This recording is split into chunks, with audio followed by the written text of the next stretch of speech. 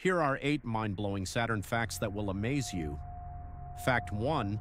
Did you know that Saturn could float in water? Yes, that's right. Its density is so low that if you had a big enough ocean, Saturn would float on it. Fact 2. Saturn is the sixth planet from the Sun and has been known since ancient times, but there's a lot more to this giant planet than meets the eye.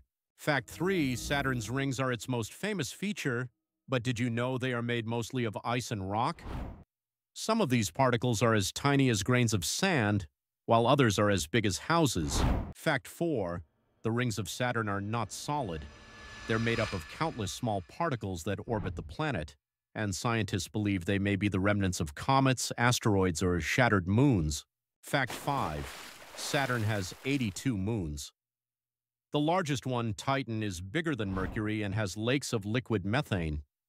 Imagine standing on a moon with an atmosphere thicker than Earth's. Fact 6.